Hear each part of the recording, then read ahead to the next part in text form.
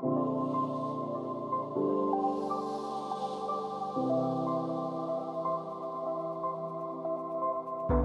welcome everyone. Um, I think this is one of the first ever workshops at Devcon um, featuring a really new exciting space that has evolved over the past, uh, really only over the past year, um, called DeSci. And DeSci is short for Decentralized Science. And so the goal today is really, um, the title of the talk is Smart Contracts and Petri Dishes, essentially merging these two fields together. Uh, and then with a goal to who everyone is here today to kind of look at beginning to create a shared technical infrastructure roadmap for what is actually required to make DeSci a success. Uh, cool. So we still have some people coming in. Uh, maybe a few words about myself. Um, hi everyone, my name is Paul Kohlhaas. Um, I'm the CEO and co-founder of a company and ecosystem protocol called Molecule. Um, and I had the amazing opportunity last year to work with a great group of people to launch one of the first DeSci-centric uh, research organizations called VitaDAO. Um, maybe, maybe to start with that, like maybe a show of hands. Who's heard of VitaDAO? okay, so almost pretty much everyone. Uh, it was a little bit hard for me to gauge the audience of this um, of the talk today, uh, just because there's obviously a lot of um, well, developers at Devcon. It's a it's a um, developer centric uh, conference. Cool. Maybe I can share hmm, a few words just about myself. Um, I uh, actually don't have a background in science, but rather in economics uh, traditionally. Um, however, science and specifically like uh, biotech has been a huge personal hobby of mine uh, since my teenagers. Uh, I spent a lot of time in, in, in online biohacking communities as a teenager. Um, and some of you may be familiar with these. There's all of these different subreddits uh, focused on um, nootropics, for example, or biohacking. And so as a teenager, I spent kind of time in, in these online communities that were, for example, um, diabetics, and that were looking at alternative ways of um, accessing insulin. As many of you probably know, insulin prices in the United States have skyrocketed over the past uh, over the past decade. Uh, and so these communities were looking at ways of producing their own insulin, kind of in in a garage, which sounds super risky, but actually often people are um, our, our current healthcare system really like underserves certain patient population. Similar cases in, for example, in different HIV communities that were kind of collaborating online to develop their own open source gene therapies. Uh, or in other cases, you have um, communities of psychedelic researchers and enthusiasts that are kind of exploring hundreds of different novel psychedelic compounds. So what happened in these communities, someone would say, hey, here's an interesting chemical structure. I think it could do this, this, and this in the human body. Has someone tested this? And then someone else would say, yeah, I tried it. It did this and this and this. Uh, and then essentially people, um, some of you might know this as trip reports. Uh, it's essentially a form of like very anecdotal data collection. Um, but I found this form of like open source drug development really, really fascinating. Uh, and um, at the same time, then I began looking at like the larger macroeconomic landscape of pharma. And because I started asking myself, well, why are these people online in the first place? Actually, in many cases, engaging in very dangerous experimental behavior on with their own bodies, um, and it's often out of sheer necessity, because um, either through lack of access, uh, or because um, because certain medications and therapeutics are fundamentally overpriced. Um, and then uh, I went on and studied studied economics, and during my time studying economics, I got an interest in trading biotech stocks. And so a biotech stock typically trades um, around kind of the success of one of the core assets that is being developed. Doing okay? one of the core assets that are being developed. And so if positive data emerges about one of these assets, typically the price goes up. And if negative data emerges, the price goes down. And so within biotech companies, this data is extremely well guarded. Um, it's typically only released like every two or three months. typically only released every two or three months. Uh, and when the data is released, positive and negative, the, um, the stock typically does then a 5x or it does minus 80% in a day, which is actually really inefficient if we think about um, if we think about how markets work. It's like this fundamental information asymmetry. But furthermore, most biotech companies actually only have an incentive to share positive data. So a biotech company could be generating 100 studies on a specific compound, and two of them were positive, uh, and let's say eight of them were inconclusive, and 90, 90 of them were negative. They would only show the two that are positive, um, because you typically wouldn't want that what to other people to know that what you're developing actually isn't working. But in the context of science, this is extremely inefficient. So in science today, there's this there's this problem called the reproducibility crisis that it's actually quite hard to reproduce other people's um, other people's data sets that have been generated. Uh, should, should I just keep going? Okay, okay. Um, and so as I be began looking into these companies, it reminded me of my experience as a teenager in being in these much more open online shared communities where people just kind of live share data in real time. And I thought to myself, hey, there's actually there's there's something there.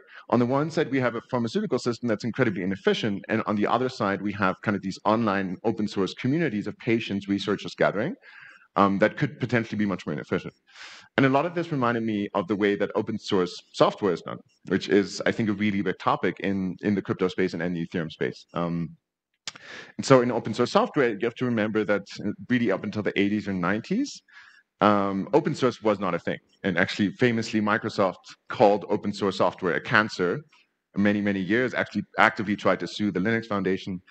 Um, and pharma today or like biotech and uh, actually much of science still works like open source in the 80s and 90s you have to imagine like pharma companies are like like giant ibms that are trying to develop everything closed source and effectively buying a drug from a from a pharmacy that is kind of licensed through a very very long complex closed source process it's similar to like in the 90s buying a Windows CD and then going home and put, writing in your CD key. I don't know how many of you remember doing that, but and today that would be unthinkable, right? Be unthinkable to still go into a physical store, buy a CD that is protected, and then and then enter that CD key. But that's essentially where much of the scientific system is still in today. still not? We'll get there. Um, and so as I began getting more and more into this, um, I uh, kind of realized that there's a fundamental opportunity here to create a much more open and shared system through the use of Web3 technologies. Because the fundamental difference often in science and in software is that science is, is in meat space, it exists in the real world. And so you can't just as easily as easily replicate it as you can in other industries. So here today we we're we're going to look at what are the problems, definition, and goals of the DeSci community and space as a whole. Uh, we're going to look a little bit about what we've accomplished so far, specifically by going into one specific um, one specific use case. We want to look at where the whole space is going and the different Lego blocks that are emerging, and then essentially quickly move into workshop sessions and different breakout groups to explore specific building blocks that have emerged in the in the DeSci space.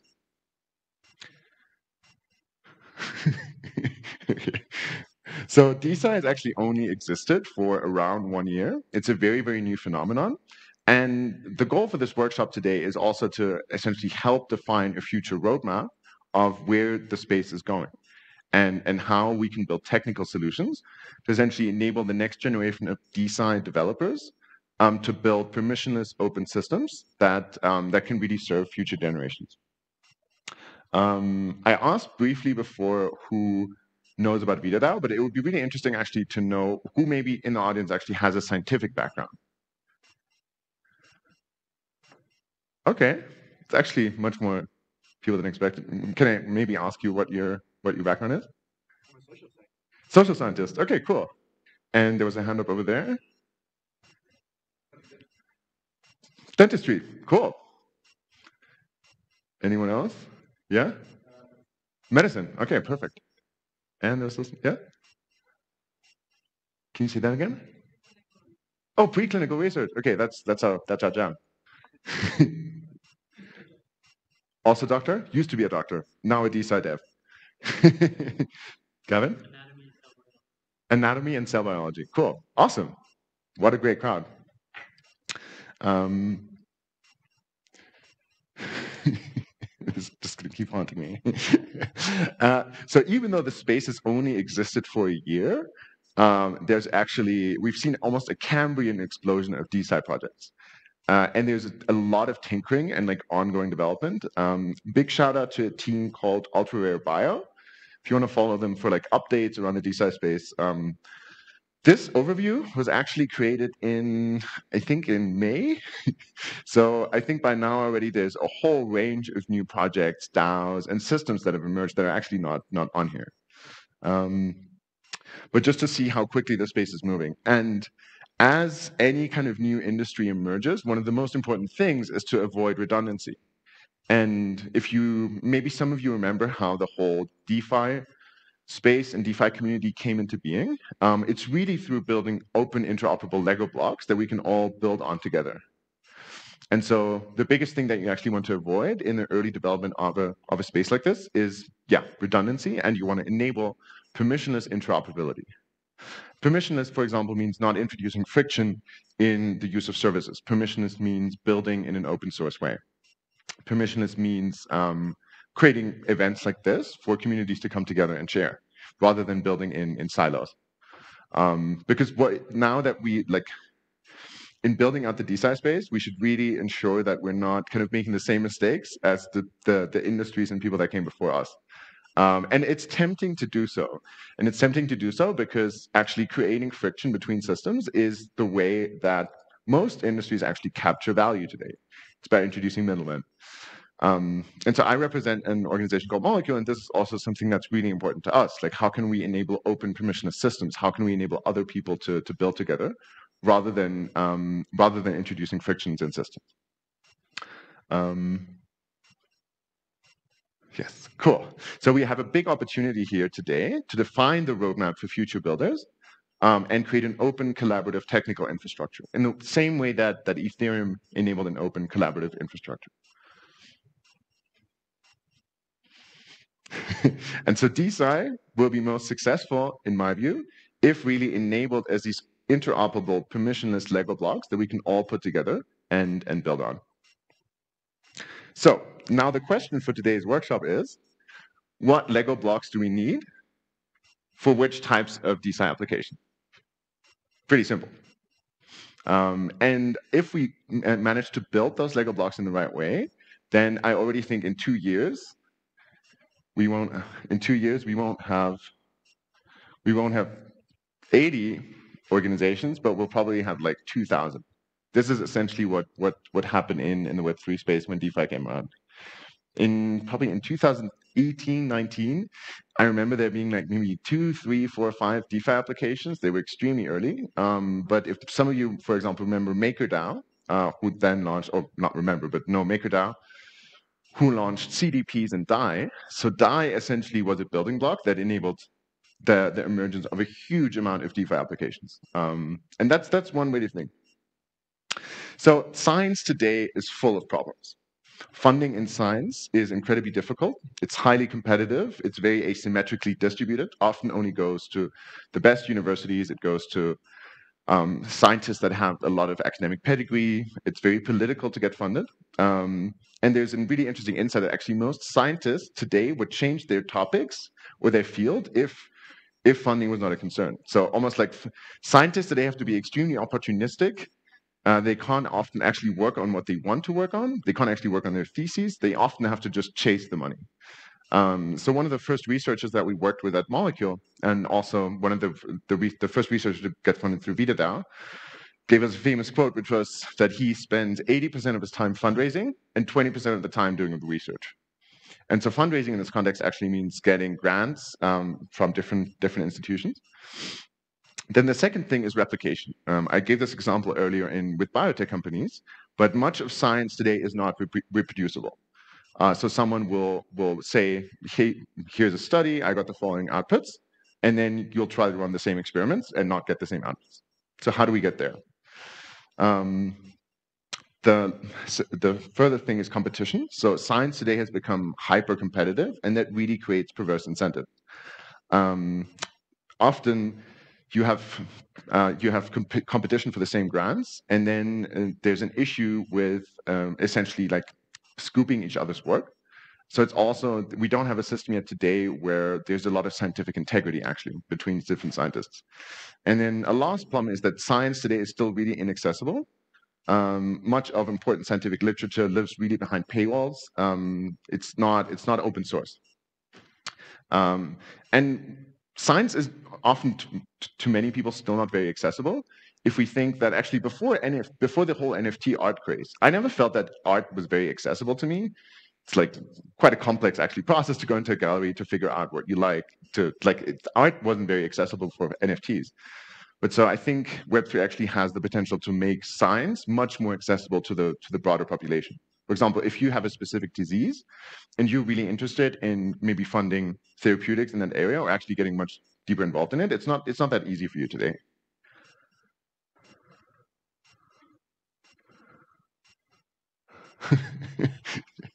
and a lot of these problems that we actually face uh, in the scientific community are the same problems that we have in other industries today. They stem from centralizing authorities. Um, so funding, for example, is largely distributed through governments, uh, or it's largely distributed through very powerful, large private corporations. Um, uh, and decentralizing authorities essentially um, affect each part of the scientific value flow. Um, another example is the publishing houses that essentially control much of how uh, what is actually published. So if a publisher doesn't want to doesn't want to publish your research, it may just mean that it actually never never gets disseminated to to a much broader audience. Uh, and so this is what has to what we've what we have to start changing. Move away from these centralizing authorities that actually govern access to science and govern truth, uh, and move into a much more open scientific system. So the question is, and maybe one one addition here. Um, how many of you are familiar with the open science movement? Does anyone want to give a definition of open science? Yeah? Um, it's similar to most of the things that you've heard so far, right? They're looking to for ways to lower barriers um, I remember talking to the Center for Open Science who was working on a replication challenge. Mm-hmm. Um, and basically trying to find a lot of, I guess you would say, Web 2 ways of addressing these problems. Mm-hmm. Yeah. And why do you think open science today, do you think it has succeeded?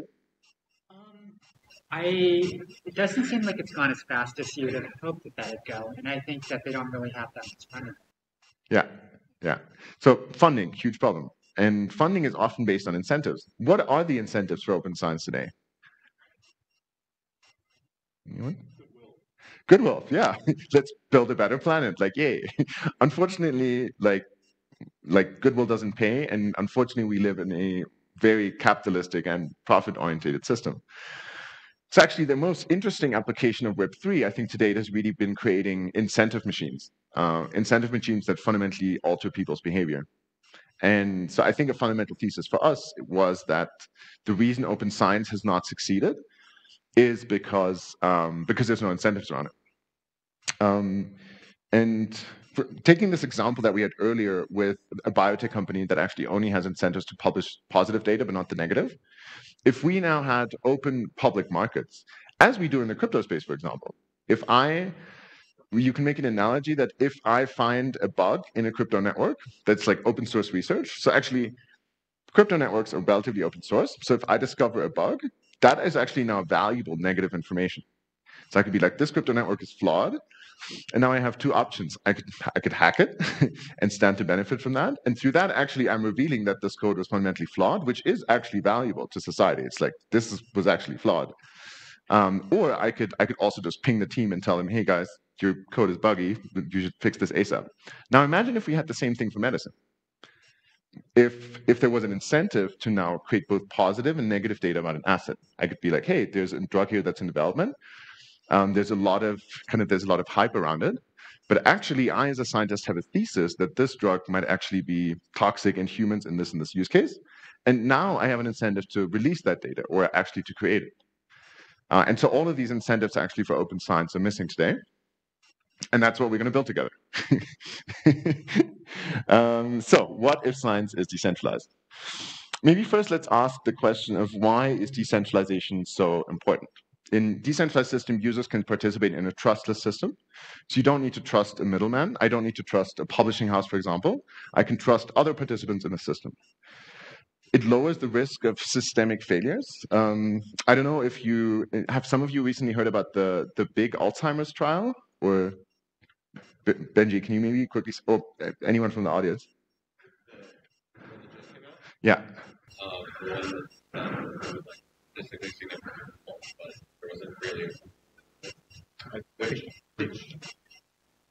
I mean, there's there's been this whole issue around like the amyloid beta yeah. hypothesis in, in Alzheimer's, and there's been a lot of um, I think career academics who have built their reputation and their laboratories and their funding around Alzheimer's and, and their particular thesis. And I think it, they managed to, through political force, lobbying, through the power of the Alzheimer, Alzheimer's an institution and amyloid beta related institution mm-hmm. through a, a drug through the approval process that just doesn't work.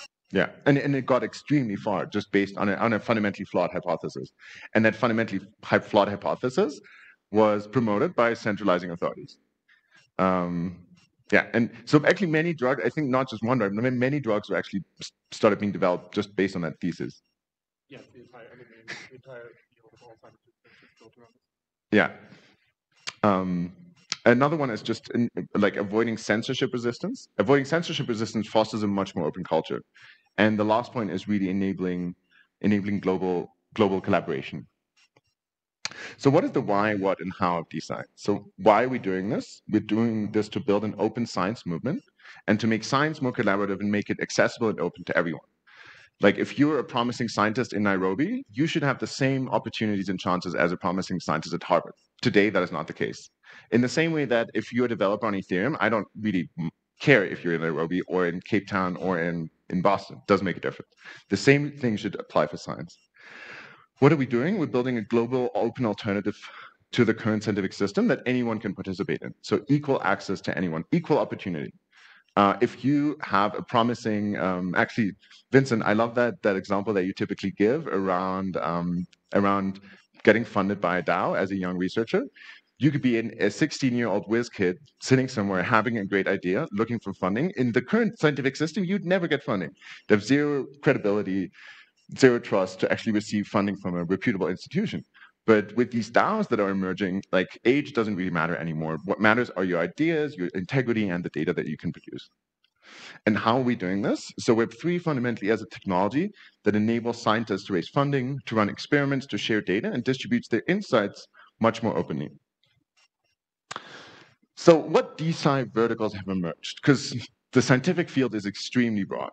Um, so the area that DeSci is currently targeting and attempting to disrupt, one is funding of data, IP, and impact, uh, which is a huge field. So what we're essentially trying to enable is faster and more democratic funding mechanisms that enable communities to form and govern impact or novel forms of IP. Another big vertical is publishing.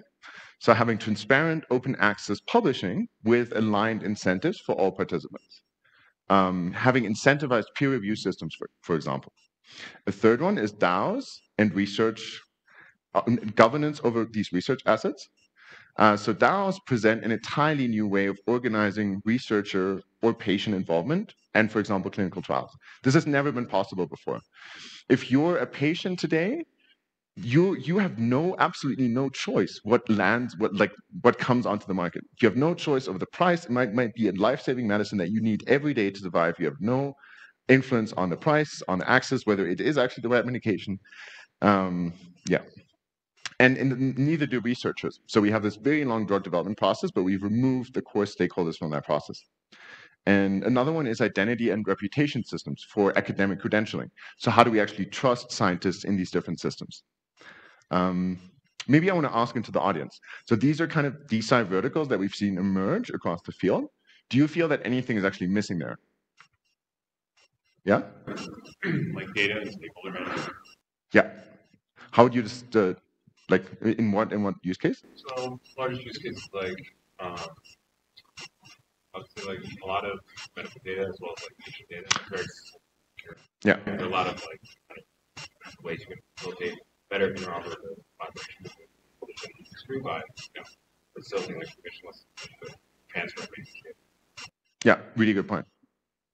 Yeah. I feel like also the scientific process, like like like collection of data, the hypothesis building, the experimentation, the redoing the experiment, uh, all the things that sort of happen in the lab. Mm. Yeah. So what we're going to do, in the, like what? Uh, yes. Oh, I was going to say I don't see too much developments that address replication. Addressing uh, like the replication or reproducibility of data. Uh, that's actually a good point. You, well, in, in publishing actually, but we should add it.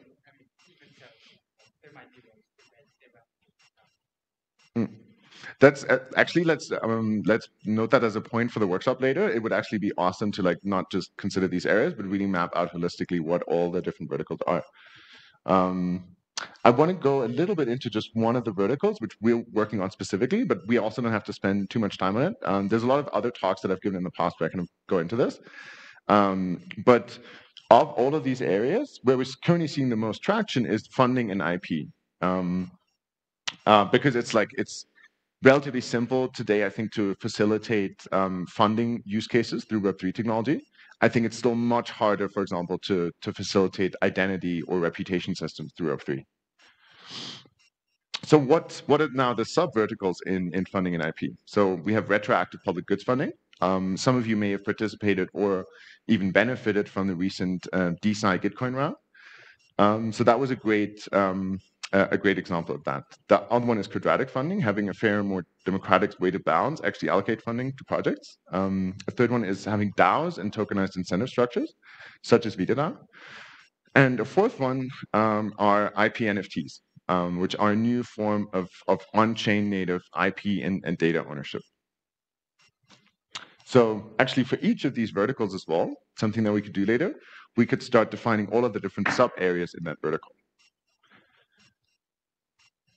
Um, I want to quickly maybe ask a question into the audience. Uh, so do you want me to go deep into one of these verticals now, or should we actually leave it much more open?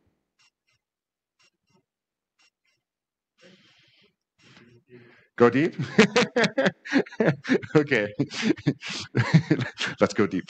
Um, my goal, like, uh, what I, yeah, the only thing I want to avoid is that we prime it too much about this one use case because there's so many other use cases. But what is interesting about looking at funding in IP and specifically what uh, what we as Molecule have, has, have developed, which is the IP NFT, is that it's already very applicable and that's theoretic. Um, but so if we look at one of the like the fundamental problem spaces of how does innovation and biotech research actually work today. So you have innovation emerging at the fringes of an organization, and then in most organizations, innovation is driven through a funnel. Um, and then essentially you curate ideas as they emerge in systems, and eventually something goes into a market. So you have idea generation, you define the project, and it moves through this funnel. Um, and you can actually map the same process to the entire drug development pipeline. So this process today can take, like industry industry averages, to take up, up to 10 years to actually develop a new drug and to drive it through all these cycles. But now one of the biggest problems with that is that like um, cancer is a global phenomenon, yet every company developing cancer therapeutics is doing it in a silo by themselves. And you could ask, wait, wouldn't it be much more efficient if this was done as an open and public funnel? Imagine instead of every company having this funnel by themselves, and, like we're essentially investing so many resources on a global scale to uh, try to achieve the same thing. Wouldn't it be much more efficient if we had a giant open funnel? Um, and this is essentially what we could build with Web3. And you can imagine each of these little dots are now individual research projects or individual individual assets driving through this funnel. Um, and why is it why is it that way? uh, the, the reason actually behind that everyone is doing their own thing is because we have something that called the patent system that fundamentally uses IP. Um, but patents are really le legacy legal physical assets. Um, patents are literally often still in most organizations boxes of papers, which if you think we're in 2022 is absolutely mind-boggling. It's somewhat ridiculous. That we're using an extremely bureaucratic and outdated IP system um, that makes IP very hard to transact. It's often much too expensive to claim IP in the early stages. It's really hard to get IP out of a university. The patent filing system takes ages. Um, and so what happens actually often that a lot of IP or a lot of promising projects that are in here never see the light of day. and it's not because of because they're actually not interesting projects. It's actually because the entire innovation system that we've built around them is is really inefficient. Uh, and so there's something called the valley of death, which typically happens here. So actually, most of the world's innovation never even enters like enters further stages uh, which is, if we think about scientific progress, is really, it's really a shame. It's like there's so much good, um, good science that never sees the light of day.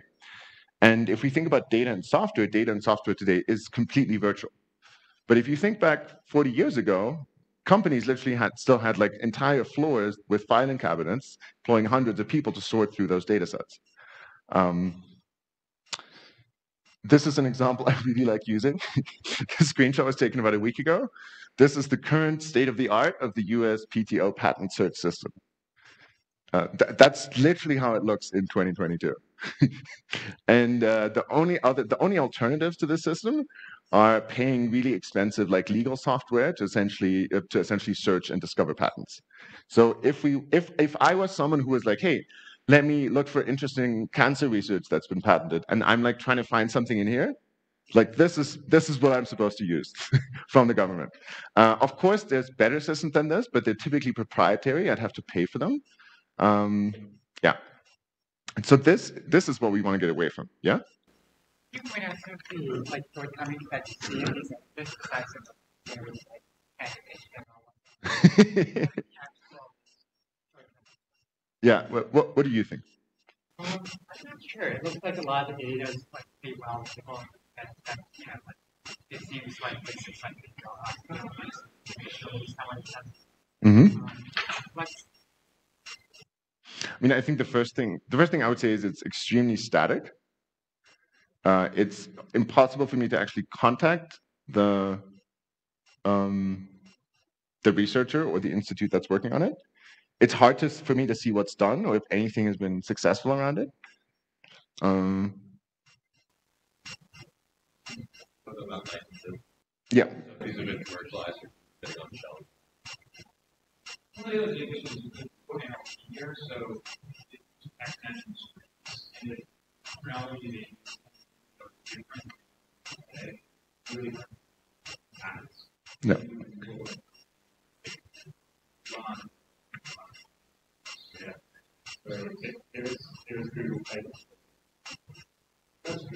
Yeah. Maybe the, the differentiation here is a very low resolution, like high volume database that the U.S. government maintains, and obviously there's many other people building like interfaces that, that go over this. But I think this speaks more to the problem about just like fundamental intransparencies than the to like meaningfully extract um, reason or, or meaning from, from a lot of this data. I think also like the scientific data that underlies the IP is also missing from here. Yeah. Go through scientific patent. Usually they'll have some like black and white, like line graphs, but you can never like audit the underlying data, understand how experiments were run. Mm. Um, more like a scientific paper like that. I also I have no idea if someone's actively working on this.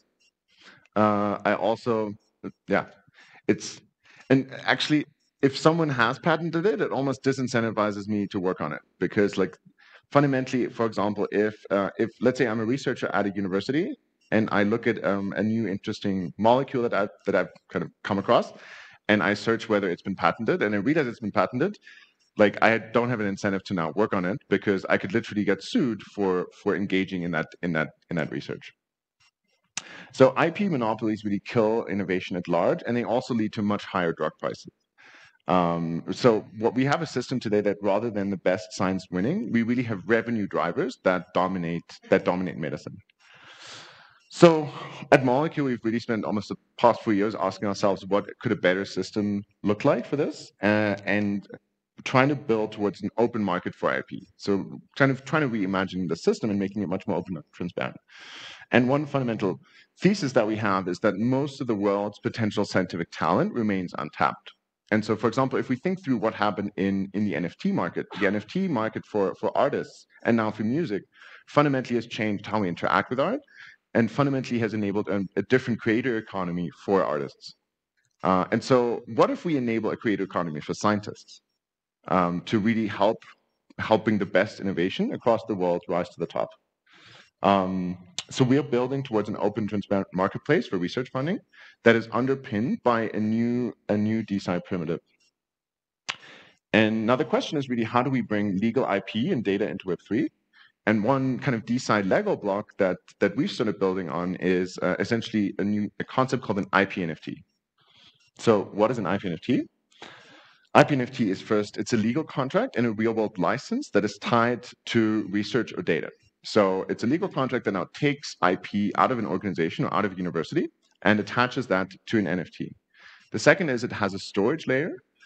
So you have a decentralized permanent data storage with public and private data repos. So almost now imagine this this NFT is like simple simplest way of saying it is like has like a decentralized Google Drive attached to it, where the owner can now uh, um, provide read and write permissions to anyone that wants that. It's transactable in the same way that an NFT is transactable. Uh, it's discoverable through public metadata around that NFT. So I can now publicly on chain start searching through the metadata of these assets. And then fundamentally, and I think this is the most exciting part, you, the IP now becomes programmable and composable. That means you have governance, you have fractionalization. Um, if you're interested in actually IPNFT fractionalization, um, we have one of our, someone from our legal team here, we've developed a new framework that's called the FRIENDS framework. Um, because fundamentally what you need to avoid is making any of these assets like securities, because then they don't become transactable in Web3 and they don't become Lego blocks, at least for now. Um, you can have programmatic royalties or pay for success models. We also have someone here from the crowdfunding cures um, team, uh, which um, pay for success models represent a really new, fascinating way to essentially do repurposing of um, of, of drugs. What does this kind of look like from a kind of from an on-chain perspective? So you have a real legal contract that's mapped onto a smart contract that then maps to metadata that is stored in Arweave, and then you have encrypted and private patent data that now fundamentally protects the IP. And this latter part you can open up, you can open source it, or you can keep it private.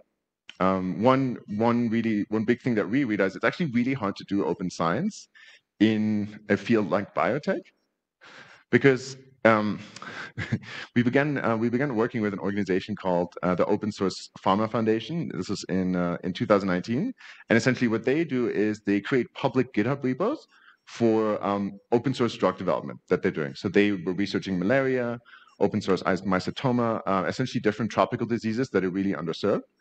And so um, what, what they realized though in doing that, as soon as you publish for example, the, the structure of a new molecule in a GitHub repo, you open source it, and you say this could be used as a mal malaria drug, it fundamentally forever becomes unpatentable. And now they were working with the, the Bill and Melinda Gates Foundation, for example, and then realized about doing that, that the Gates Foundation essentially said, we'll never be able to fund any of your malaria drugs, even if they work, because they become unpatentable. And because the problem is if you don't have any patents around drugs, you can't essentially get the asset through late stage clinical development. No one is going to come and pay, let's say, the $100 million plus that you need for like a stage two or stage three clinical trial, which is like, which is a, a big shame. It's just how the system works today. It's today it's fundamentally impossible to do open source drug development. Um, however, I think as DAOs and communities, for example, get much larger, you can actually move more in, into impact driven development. So maybe, so to close the session, IP NFTs, in our view, are really a first composable Web3 Lego block. So they can be transacted like NFTs and applied for funding. DAOs can now build portfolios of research um, of IP NFTs. Uh, so we have this new phenomenon, um, bio DAOs that have been emerging, which are DAOs that are now focused on different therapeutic areas. So since VitaDAO emerged, we now have a DAO focusing on neuroscience. Um, there's a DAO focusing on psychedelic research. There's a DAO focusing on women's reproductive health. There's a DAO focusing on hair loss. Uh, there's another DAO focusing on synthetic biology. And all of these DAOs can now use the IPNFT as a basic building block to build an, an on-chain portfolio of IP. Um, NFTs can also be fractionalized kind of and, and be inserted as DeSci Lego blocks. You could imagine an NFT, an, an IP NFT being fractionalized, and then those fractions going into different on-chain liquidity pools. Um, there's fascinating new mechanisms where the the the fees that are now being generated through these liquidity pools can actually be used to fund the research as well.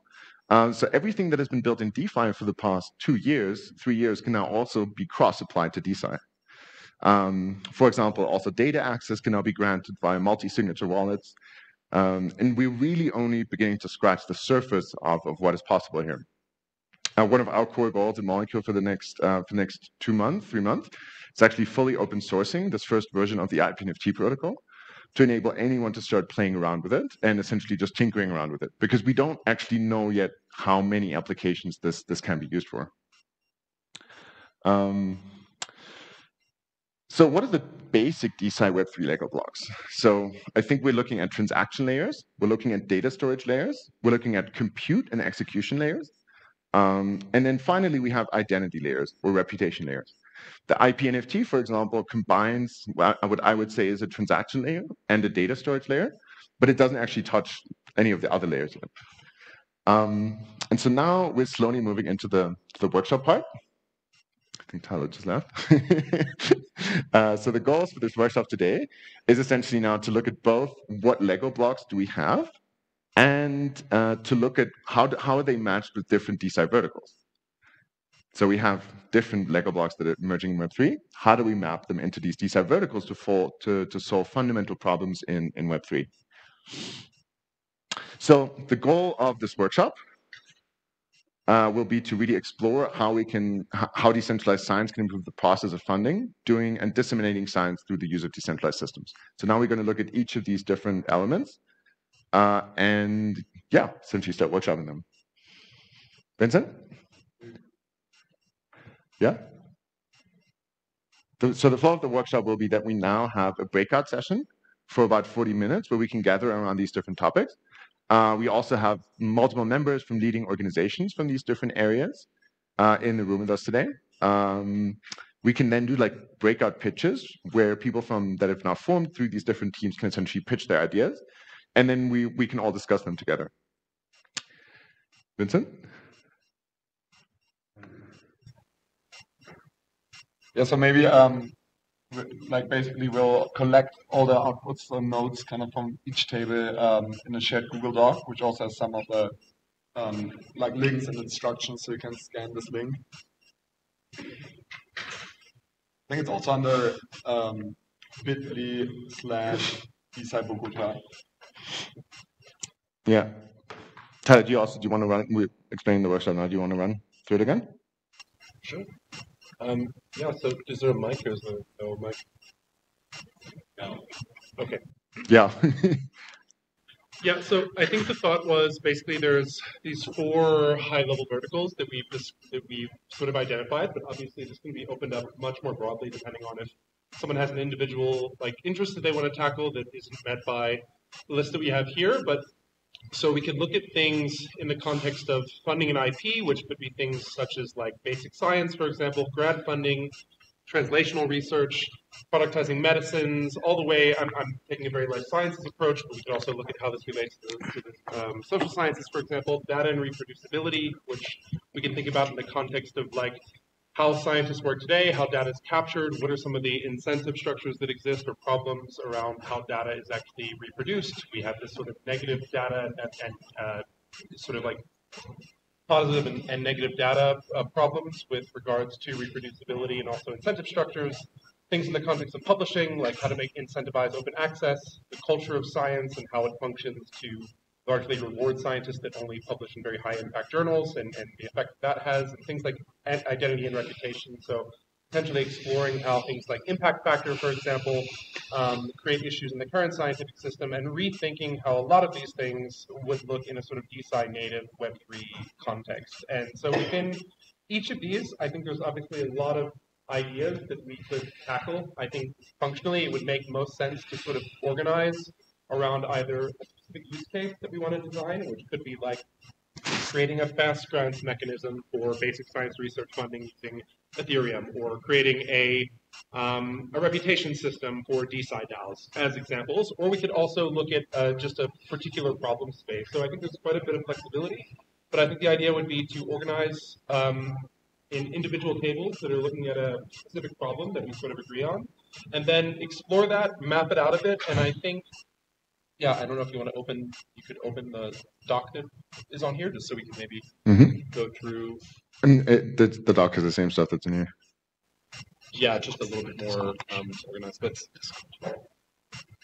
so I think there's a couple of different things. I think it's also depending on. Wait, Todd, do you want to take this?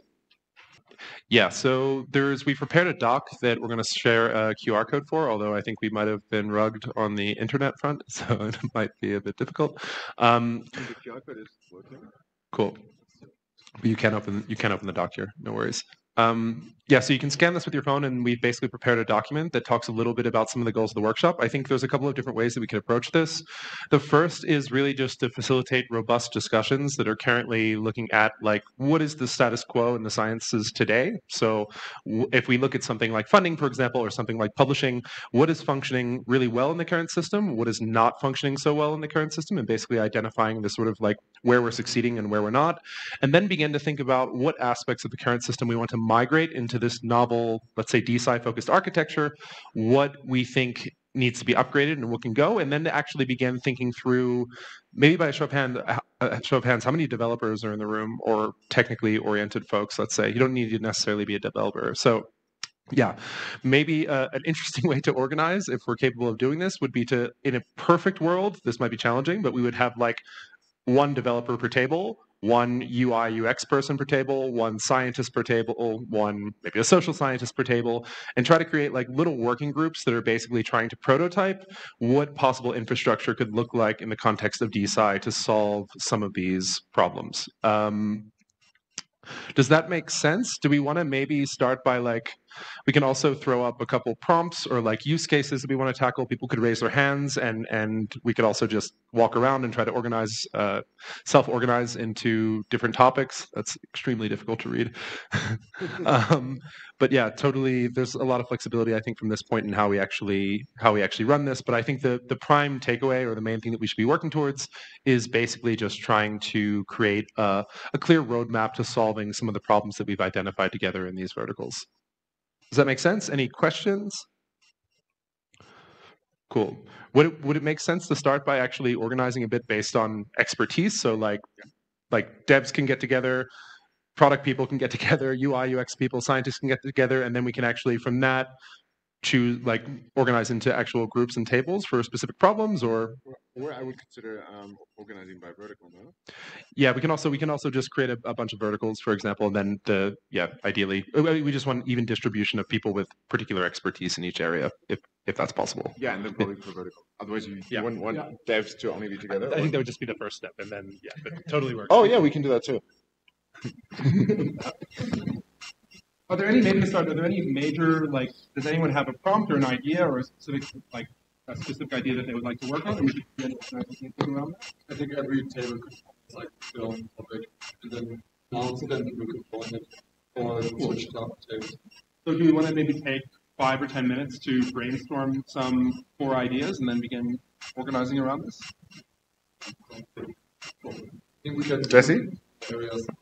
I think we can Jesse? areas. Yeah, so if you, for example, have a specific problem in mind you would like to work on, maybe write it down on a piece of paper and grab a table and, and yeah, just begin self-organizing these problems. Yeah, for me, how do we protect the people who gathering without their ideas from, from mm. May- maybe maybe maybe we start like this like what are some of the like should, should we start with like problem spaces like again like a vertical like publishing or like funding and then someone can share their idea and then people can gather around that idea I have an idea that I would love to work on. okay what, what idea do you want to work on tyler I would love to think about a novel reputation system specifically for DeSci. So looking at the current faults with impact factor and basically how we deal with academic credentials and think about what the V2 of this looks like for, for DeSci. So if you want to think about this problem, you're more than welcome to come join me at this table to, to tackle it. okay reputation cool um, I'm curious to look at publishing from a hypertext perspective. So, like, because I see how referencing is super old school, like you're publishing PDFs, it's super hard to look at where research came from. So, I'm interested in exploring like the web native hypertext system and migrating that to how research could look like in an interactive web environment. cool publishing at a high level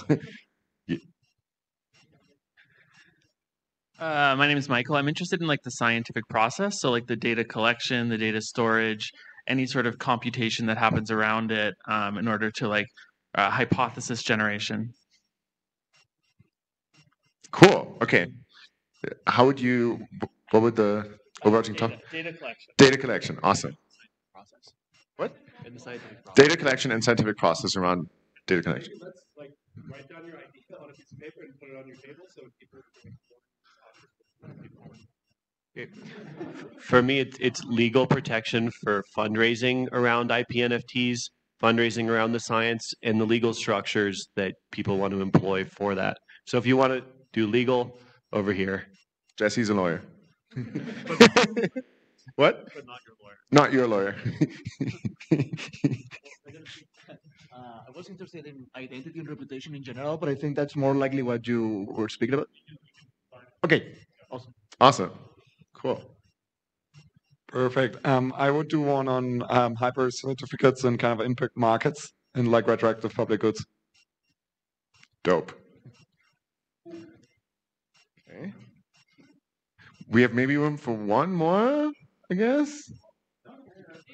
Uh, decentralized clinical trials. Oh, that's awesome. Cool. Okay. Very complex. Decentralized clinical trials. Um, anyone else? Though? Does everyone have a? Does anyone have a, everyone have a topic that they're like interested in doing or helping with? Cool. I assume so. cool. Time is slowly up. I want to slowly start bringing all of you guys back. Oink, oink.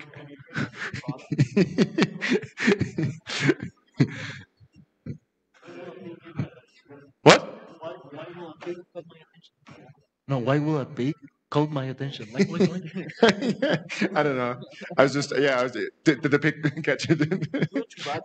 Chewbacca? now you get everyone. Yeah, now I got now I got your attention. Okay, cool. Hey everyone. Uh, so I want to slowly start bringing us back because it would be awesome if each of your groups can now kind of present the specific vertical that you explored and some of the solutions, uh, some of the Lego blocks that maybe emerged around that. Um, uh, so maybe if someone from your team can come up, or, or do you want to stay in your circle? What do you prefer? Stay in the circle? Okay, but you have to stand up while you're presenting.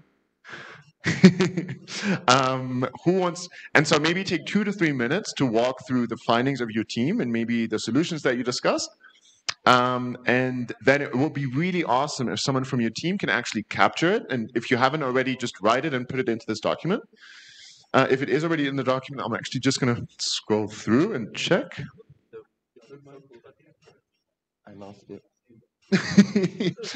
if anyone can see, I think I misplaced the mic somewhere, or maybe the support people took it, but it should be somewhere. Um, who and, and yeah, so just transcribe kind of that main outputs that you're also going to present into this doc so that we can share it with the world and the community after this. That would be really awesome. Okay. Um, who wants to go first? Cool. Tyler, floor is yours. You have to stand up. I need to read this while I'm doing it, though, so I'm not going to up. Or I can. yeah. So uh, we were looking at a scientific reputation system and looking first at how our current like scientific reputation system functions. So we first mapped the current system out into two verticals. One would be formal credentials, and other would be sort of informal reputation. And formal credentials are things that are verifiable, measurable, and somewhat quantifiable. These are things like academic affiliation, degree, impact factor, H score, pedigree, citations, for example, and funding sources. And then there's more sort of informal, more, let's say, qualitative reputation things. This is like social media and press, collaborators and peers, um, who you know, political affiliations, hype, your ability to influence others, and we mapped out some pros and cons in each of these. If you want to like look at these in detail, you're you're more than welcome to. They're, they'll be in the doc. But just as like a high level example, without going into excruciating depth on each of these, things like academic affiliation can demonstrate or attract quality. They can signal trustworthiness. They can be associated with spe- specific areas of expertise. They could act as sort of Schelling points. But on the other side, they can create inequality. They can, uh, for example, foster sort of like uh, certain reinforcement patterns, create like legacy students. There's a bunch of problems in sort of fostering. Sorry, this this doc is moving in real time as I'm um, reading it. I'll just talk through it rather. I think I can do it from memory. Um, there's there's a bunch of things in the context of this current um, let's say verifiable metrics that still need work. So impact factor is something that um, I think can be quite positive in terms of it can demonstrate readership and citations, but it can also be heavily gamified and is used to largely um, sort of reinforce um, yeah, certain popular ideas. Many Nobel laureates, for example, don't pub- publish in high impact journals. Their ideas are initially rejected. So we were basically trying to look at, in the context of all of these different um, verticals, whether they be like verifiable credentials or sort of informal credentials, what are the sort of things that we want to bring over into into DeSci in the context of this, um, let's say, new reputation system? And so we did a little bit of work thinking about things like um, credentials, and these could be represented by things like soulbound tokens, for example. So instead of just having ac- academic affiliations, we want to have things like industry affiliations, guild affiliations, DAO affiliations. What are the communities that are, you're associated with? What are the values of those communities, and how do we measure those? Um, I think we also want to look at, for people who are involved actively in funding, how are they making an impact? What DAOs and organizations are they a part of? What areas have they done research in? What areas have they maybe impacted? And this is also a hard thing to measure, but I think using impact certificates and, and actually POAPs in some cases, you could begin to use some of those technologies to measure um, the impact that somebody's having. We could also look at things like GITs and like pull request in the context of like data becoming increasingly, like let's say if you're doing in silico work in the context of of biology. Um, you can begin to look uh, more in real time at how somebody is contributing data to a certain research area and begin to measure an impact that way. And there's also things like measuring DAO reputation. So if I'm a contributor in a DAO, you know, am I somebody that people are delegating votes to? Am I somebody who's being rewarded via things like Coordinape? Have I been elected as steward? And then also looking at other factors like value captured, value generated. Am I deploying funding? Have I have I received funding from certain people? We could also look at like token holdings. We could look at how active I am as a governance contributor in a DAO. But in the end, there's all of these sort of uh, all of these, I, I would say, new interaction patterns that are happening via the internet that are actually producing a lot of really, really rich data that is quite different from how um, science works today. And what we want to try to figure out, and where we haven't gotten to actually in the context of this um, short session, is really thinking about how those things are all weighted, how they're measured, and I think the most interesting question here, if we think about creating like a holistic reputation system that would be akin to something like impact factor, um, it's really challenging to do because I think the needs of scientific communities are are very different. So, for example, I might be somebody that, from a reputation perspective, is a really good developer or is maybe just really good at data collation and data analysis. How is my reputation weighed against somebody who is maybe also publishing and also funding research? And so, thinking about dynamically how these systems interact, I think will be a really interesting technical challenge. One of the things that we were thinking about was like if a DAO has a certain set of needs, so for example, VitaDAO might have a need for longevity researchers that have worked in X or Y fields and have for example, experience with certain assays and certain data techniques, that is very different from another organization that is maybe just an investment focused DAO and wants to know if somebody has been particularly good at deploying funding or making good bets. And so I'll, I'll cap it here. So like the the the thing that we're thinking about is like in the context of a how can we create dynamic reputation systems where the organizations themselves are specifying what they're looking for, whether it be a series of soulbound tokens and, and DAO affiliations or specific credentials, and how can we have a system that basically uh, adapts based on the skill sets that that individuals have. So sort of like everything we've talked about taking a dynamic approach to this reputation system that is not one-sided meaning that it's not just the impact factor of researcher but the needs of an organization juxtaposed against uh, the specific skill set that someone has. And i think this could be really interesting because going back to an earlier example that you made paul if there's like a 16 year old uh, somewhere in the world that ends up being an excellent scientific reviewer because they self-taught themselves I don't know, like biochemistry, and you know, on the internet, no one knows your age, but they're making they're making like comments on papers or whatever that are really valued by the community. We want a way to to measure that that is like independent of, of academic affiliation, for example.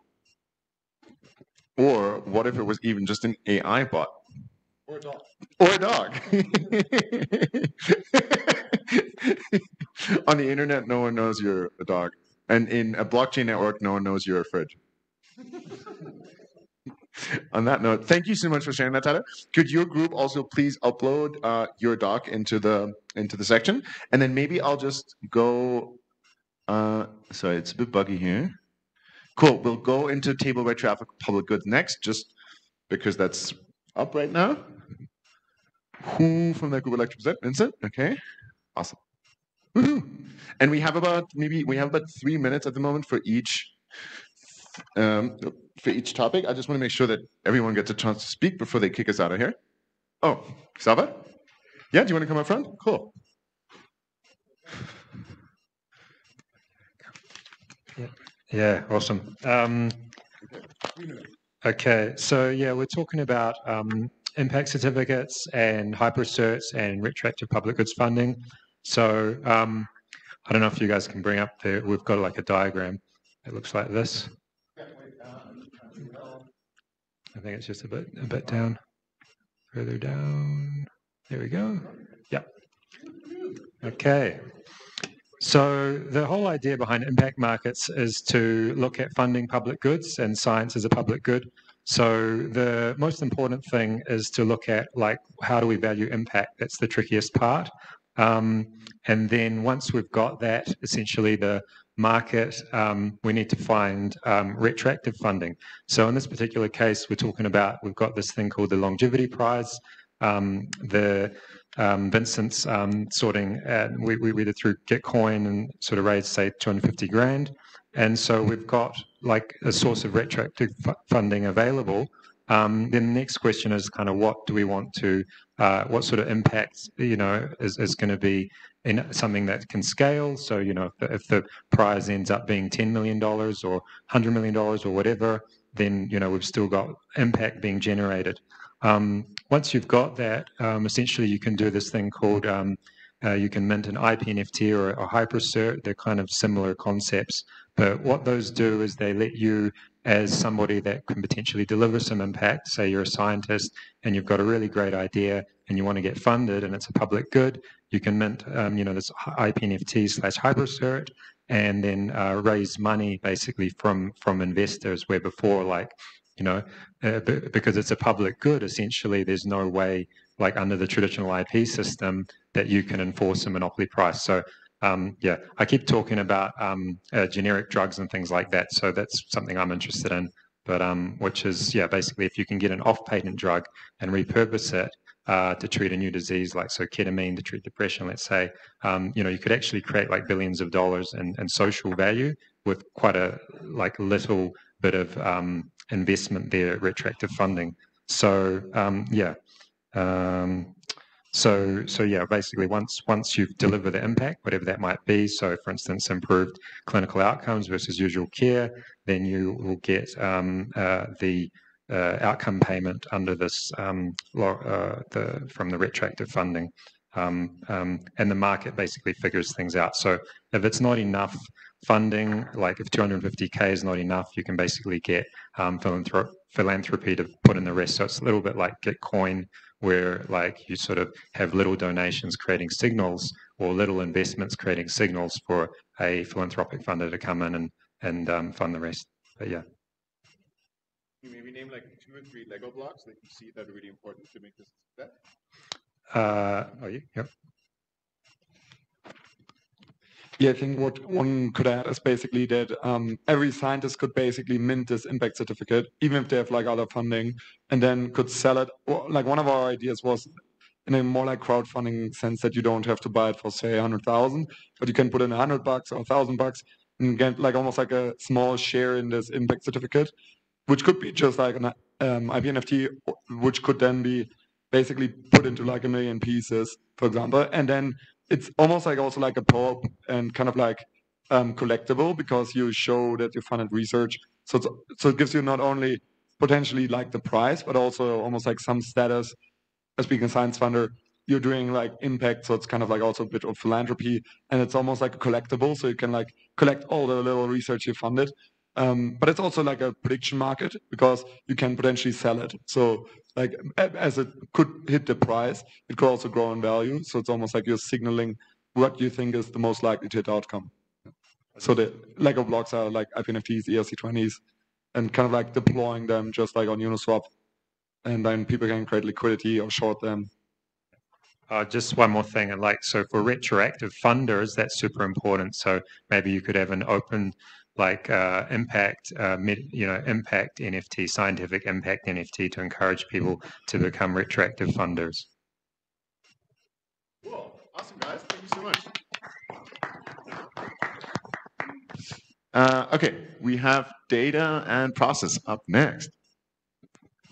So, so I think some of the things we talked about was like, uh, so the first thing we went into was like, how can we uh, collect data for uh, uh, for scientific purposes? And then one of the things we come, one of the problems that we need to solve is like, how do we collect, uh, how do we get gather people, not just for collecting surveys, not just for conducting surveys, but also like, how do we gather people to uh, part, participate in clinical trials, and all that falls under like a, a, a, a, a we need sort of like a database of sorts which can store uh, metadata and allow people to like ask questions to this entire population and see narrow them down to specific uh, segments.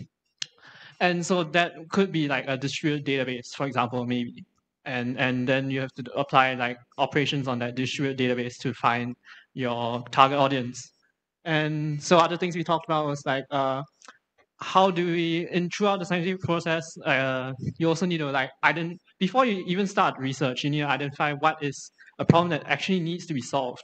And so uh, in in order to identify a, real issue that needs to be solved you have to make sure that uh, it's the actual problem and and you need to uh, not not you can't trust um, majority of the population to know what is an actual problem because certain uh, populations may have like uh, like there may be like groups of people who are healthy and groups of people who aren't, and and the healthy people may uh, outvote the unhealthy people. So then, how do you address the problems with the unhealthy people? Like maybe, uh, yeah, like like uh, because we do actually need to solve the problem of unhealthy people in a way. Uh, yeah. So, what is the right thing to fund is the is a problem in yourself also and then, uh, yeah, more things on, uh, yeah, so can you scroll down a bit?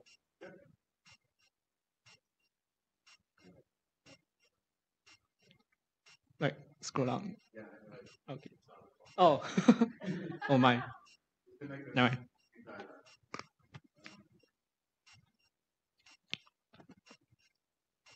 So I think other things are like, uh, mm, yeah, like so we talked about cloud labs and how can like cloud labs and like how can we conduct uh, how can we have uh, like databases of people or of labs or like facilities that can uh, help conduct research? And then uh, also like even currently web uh, and then also another thing is like throughout the scientific process you also need to make sure your uh, experiments are conducted uh, uh, trust in a trusted manner. So how can we have chains of trust that go that go from like from the the ground, maybe like from the individual level, all the way to back to the researcher, and then beyond the research actually. Yeah, and uh, I think one final thing we touched on is like how do you duplicate uh, uh, how do you duplicate experiments or studies conducted and that will usually involve like open source studies and being able to query these studies. So we'll need solutions to like uh, uh, catalog and index uh, studies already conducted in the past. And yeah, there's a lot of problems in, I think in, in summary, there's a lot of problems throughout the scientific process that requires individual tools and very, uh, tool, very uh, specific open tools that are uh, globally accessible.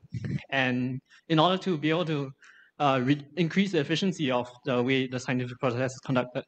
Yeah, I think that's a summary of what we would think. Thank you so much.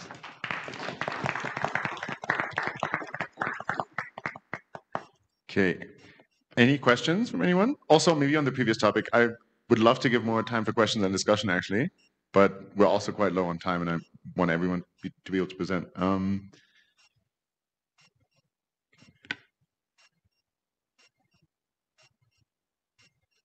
Okay, then last but not least, we have publishing.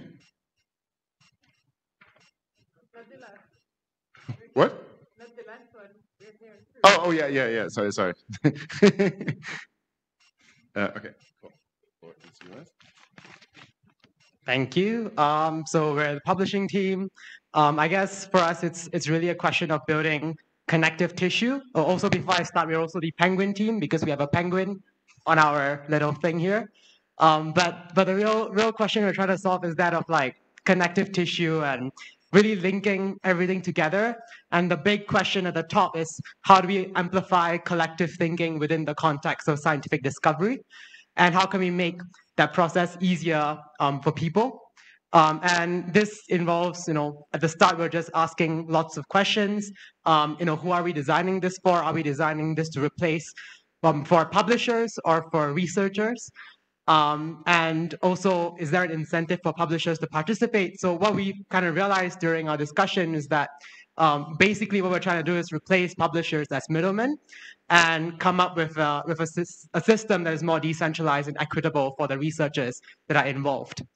Um, and another big problem that we talked about was actually actually um, crypto history, and and I think Brewster Kahle had a brilliant talk on this yesterday or the day before from the Internet Archive, um, how you can just pull publications off of the record, and you do want you really want to avoid that, and you want things to be accountable um, 50, 100 years down the road. So our our solution is really just to use the existing technologies that already are around, like Arweave and content addressing, to build connective tissue um, for linking between papers and publications. Um, and the big sort of money or like the Lego here would be for DeSci would be some sort of publishing standard with the associated metadata that will link these papers together, whether that is like referencing, um, whether that is like referring to people who built the system, uh, built, uh, wrote the paper. And I think that's where it kind of plugs into the reputation system that the other team presents earlier. Um, and also we discussed like how can we connect these papers to the IP that resulted from them. And we were talking about how we could plug that in as well. So you could imagine visiting like a Wikipedia site that pulls from an Arweave backend and has like really good user interface. You could click and see what IPs are related to this, how the reputation of the scientists who wrote this is, and like also look at the references by following the Arweave links. And because it's Arweave, it's permanent. Um, you don't have to like worry about the, the, the data disappearing any point in time. Um, the, we also looked at some other systems here, like Wikipedia is probably a great example for a linked um, content system that has worked really well for, for data. Um, also, stuff like DeSci Labs and um, BioRxiv. Um, we're doing research in adjacent spaces. Um, but, but yeah, that's about it. Thank you. Thank you so much. Uh, I really like how you ca- um, essentially already started creating connections between the different, um, yeah, the different topics. Um, team in the back, Benji.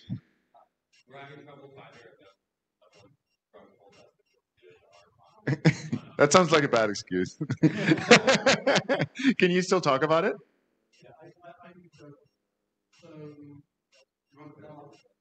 Do you want to come up quick? And we, we we have about six minutes six minutes left. Oh yeah. Oh, yeah. Mike. Okay, I feel powerful now. Um, so uh, we talked about uh, decentralized clinical trials. Um, firstly, why would you decentralize them? How would Web3 work? I think we came to a broad consensus that generally, that generally speaking, the things you'd initially want to look at would be clinical trials were things that weren't particularly dangerous and you could get over the counter, um, and it's okay to ask the general public to do. Um, we talked about data issues in that, um, whether data should be stored on people's phone, encrypted, put on the blockchain, um, and the issues that can happen when you've locked data up on people's devices and they get sick or ill or unconscious, um, and generally decide that in a clinical trial they should probably always consent, and those exceptions don't matter too much. Um, we also talked about how you would decide which trials to run and why. Um, I think broadly we agreed there should be some vague oversights from professional people in that, so you don't do something too dangerous. Um, and last we talked about, went down a big rabbit hole on incentives, um, the potential of uh, micropayments, and the pitfalls of people just taking the step counter um, and attaching it to a piece of string and putting it in front of a fan. Apparently, that works quite well. Um, yeah.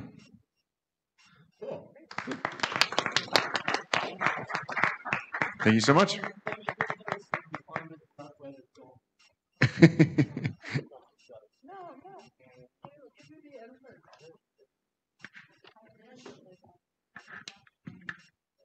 Thank you. Okay, so on the legal side, we worked on a practical case, um, and I presented the problem to Jesse. So I work for Foresight Institute. Uh, we are a sort of perfect uh, problem child for DeSci. We are a nonprofit organization that is based in California that has existed for 40 years, doing science really at the edge, uh, trying to accelerate science that's way too ambitious or too uh, niche for legacy institutions generally to to feel comfortable to fund. So you, we work on neurotech, biotech, uh, trying to push our um, longevity, age reversal, brain-computer interfaces, building Dyson, Dyson spheres because we also work on space, um, AI, crypto, um, etc. Um, and so we have this organization. It's a nonprofit, and we want to DAOify it. Um, and so there were two main categories of problems that I presented to Jesse. One of them was uh, how do we uh, not jeopardize the existing organization, and the second one was uh, more focused on governance and how to create uh, a DAO structure that is really aligned uh, with the um, ethics of our organization. And Jesse was very helpful. Thanks, Lou. So we really have two two sets of solutions to these two questions. One is how do you make a DAO from your nonprofit that doesn't jeopardize the DAO and its existence? And the answer is what we did at VitaDAO, a fair launch with, with no pre-sale. Then that may rub some people the wrong way who want to raise money privately from investors before launching the DAO, but it's really the key to prevent an existential risk to your organization is to do a fair launch. And what that means in practice is um, having a team that's willing to bootstrap and, and launch this organization and then get retroactively voted for their token-based compensation after the launch of the DAO. Number two is that there should be no direct claim on the treasury, so you can't have a Moloch DAO style rage quit function that allows for the token holders to claim treasury assets. Um, there has to be some kind of break in that chain in order to prevent the token from having a secured interest in the treasury of the DAO. In other words, the token being a security. And in that same vein, no distribution of profits to token holders. And so that leads to the question of like, well, well, if you can't distribute profits to token holders, token holders have no direct claim on the treasury, then then what's the token for, right? How do you reward people for participating in this DAO at all? And and the answer is in part what we do at VitaDAO. And the best example is to look at a university endowment. A university endowment makes investments, right? It makes money. It it makes money for the university, and then that money is distributed to university administrators, to students through scholarships, to making buildings, to making the university a better place. No professor or student has a direct claim on profits that are made from the investments in the university endowment, but the university grows and becomes a better place and becomes a higher salaries. Professors get paid more, scholarships are handed out to larger degrees, the more money that the endowment makes. However, again, no professor has any claim on profits that are made from the, the university endowment. And so I encourage you to think of your biotech DAO and the money that it's making and the treasury that it has like a university endowment and the structure of the DAO as a nonprofit structured almost like a university. And then later, um, with our IPNFT 2.0 protocol and the fractionalization that comes with that into friends and fam tokens, which we can talk about at dinner tonight. Um, you, you, you, what, what you do is you have a really interesting system whereby the token holders of your DAO don't just have the ability to vote in snapshot on governance proposals, which is like, you know, step one of DAO participation. And that's about as far as many DAOs get unless they have this Moloch style rage quit function. What you have with IP NFTs and their fractions is the ability to drive value to token holders and allow them to accumulate portions of the IP and portions of the treasury assets, direct exposure to interesting projects that they want to co-govern, um, and you know if they KYC in a credit that they want to co-own. Yeah. Okay. Thank you. Just making a final announcement. Uh, wait, don't disconnect. I put on top of the document. Uh, so tonight, in in partnership with Molecule, Foresight is Is hosting a DeSci dinner at Teatro Ripio. Uh, and so we invite you all to join and continue this discussion. I put the, oh, perfect, thanks. Um, otherwise, the link is at the top of the document. I put it just under the uh, agenda on, in the Google Doc. You can directly click there and register and join you, join us. That's it, Paul. Thank you so much. Yeah, a massive thank you for everyone um, that participated here. I think we had some really, really cool, exciting insights come out of this. Uh, you all have the shared doc. Um, what we'll try to do maybe from our side is like maybe collate this into like a blog post of sorts or just a maybe a Twitter thread um, to share it with the community. If you want to be tagged in it, please feel free to put your Twitter handle into the doc. Um, yeah, and uh, look forward to maybe seeing some of you at the dinner tonight. And remember, build uh, build Lego blocks, build railroads, build roads that other people can use and that can cross integrate uh, into the community because we still have such a big opportunity here to set those railways for everyone to um, yeah to interoperate, which is what open science and DeSci should all be about. Thank you so much.